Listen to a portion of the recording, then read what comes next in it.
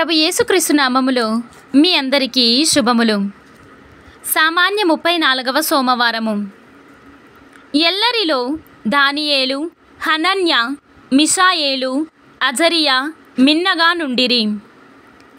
మొదటి పట్టణము దానియేలు గ్రంథము ఒకటవ అధ్యాయము ఒకటవ వచనము నుండి ఆరవ వచనం వరకు మరియు ఎనిమిదవ వచనము నుండి ఇరవయవ వచనం వరకు. మొదటి పట్టణము దానియేలు గ్రంథము ఒకటవ అధ్యాయము ఒకటవ వచనము నుండి ఆరవ వచనం వరకు మరియు ఎనిమిదవ వచనము నుండి ఇరవయవ వచనం వరకు. యెహోయాకీము యూదాను పరిపాలించిన కాలము మూడవ ఏట బబులోనియా రాజు నెపుకద్నేసరు ఎరుషలేముపై వచ్చి దానిని ముట్టడించెను. ప్రభువు యూదారాజు ఎహోయాకీమును దేవాలయములోని వస్తువులను కొన్నింటిని ఆ రాజు చేతికి అప్పగించెను. అతడు వానిని బబులోనియాకు కొనిపోయి తాను కొలుచు దేవతల మందిర ఖజానాలో ఉంచెను. ప్రవాసులుగా వచ్చిన ఇజ్రాయేలీయుల నుండి రాజవంశమునకు ఉన్నత కుటుంబములకు చెందిన యువకులను కొందరిని ఎన్నుకొనమని ఆ రాజు తన ప్రధాన అధికారి అయిన అశ్వేసునకు ఆజ్ఞ ఇచ్చెను. వారికి అందము తెలివితేటలు ప్రావీణ్యము ఉండవలేను. శారీరకములైన లోపములు ఉండరాదు. వారు మంచి శిక్షణము పొందవలెను. తరువాత వారు రాజునకు కొలువు కాండ్రుగా పనిచేయుదురు. అష్పేనా వారికి బబులోనియా భాష శాస్త్రములు నేర్పవలేను. ఇంకా ఆ యువకులకు రాజభవనము నుండియే భోజనము ద్రాక్ష సారాయము పంపవలయునని రాజు ఆజ్ఞాపించెను. ఈ రీతిగా వారు మూడేండ్లు తర్పీదు పొందిన పిమ్మట రాజునకు కొలువు చేయవలయును. అట్లు ఎన్నికైన యువకులలో దానియేలు హనన్య మీషాయేలు అజరయ అనువారుండిరి.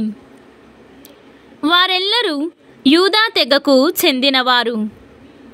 దానియేలు రాజభవనము నుండి వచ్చిన అన్నపానీయములను స్వీకరించి తాను అపవిత్రుడు కారాదని ఎంచెను.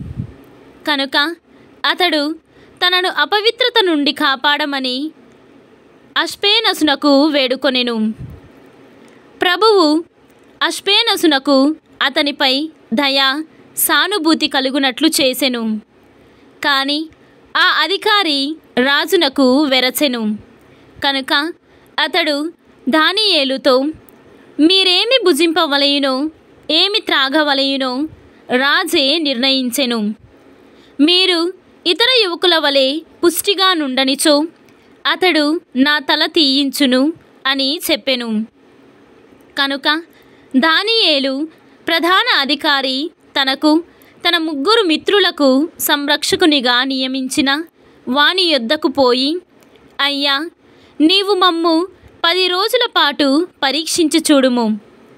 మాకు భుజించుటకు శాకాహారము త్రాగుటకు నీళ్ళు మాత్రము మిమ్ము. మమ్ము రాజభవనము నుండి వచ్చిన భోజనమును ఆరగించిన యువకులతో పోల్చి చూడుము. అప్పుడు నీవే నిర్ణయము చేసి మా పట్ల తగినట్లుగా వ్యవహరింపుము అనెను. అతడు వారి పలుకులను అంగీకరించి పది రోజుల పాటు వారిని పరీక్షించి చూచెను. ఆ గడువు కడిచిన పిదప వారు రాజభోజనమును ఆరగించిన యువకుల కంటే ఆరోగ్యముగను బలముగను కనిపించిరి. కనుక అప్పటి నుండి ఆ సంరక్షకుడు వారిని రాజభోజనమునకు బదులుగా శాకాహారమునే తిననిచ్చెను. దేవుడు ఆ నలుగురు యువకులకు భాషయందు విజ్ఞానమందు తెలివిని నైపుణ్యమును దయచేసెను.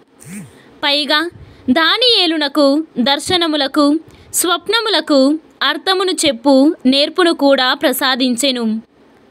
రాజు పెట్టిన గడువు ముగిసిన తరువాత అబ్షేనసు యువకులనందరినీ నెప్కద్నేసరు సమక్షమునకు కొనిపోయెను. రాజు వారందరితో సంభాషించెను. కానీ ఎల్లరిలో దానియేలు హనన్య మిషాయేలు అజరియా మిన్నగా నుండిరి. కనుక వారు రాజునకు సేవలు చేయ ఆరంభించిరి. రాజు ఏ విజ్ఞాన విషయమును అడిగినను ఏ సమస్యను గూర్చి ప్రశ్నించినను ఈ నలుగురు యువకులకు అతని రాజ్యము మొత్తములోని జ్యోతిష్కుల కంటే మాంత్రికుల కంటే పది రెట్లు అదనముగా తెలిసియుండెను. ఇది ప్రభువు వాక్కు సర్వేశ్వరునికి వందనములు. ఈనాటి సువిశేషము పునీత లూకా గారు వ్రాసిన సువిశేషము ఇరవై ఒకటవ అధ్యాయము ఒకటవ వచనము నుండి నాలుగవ వచనము వరకు.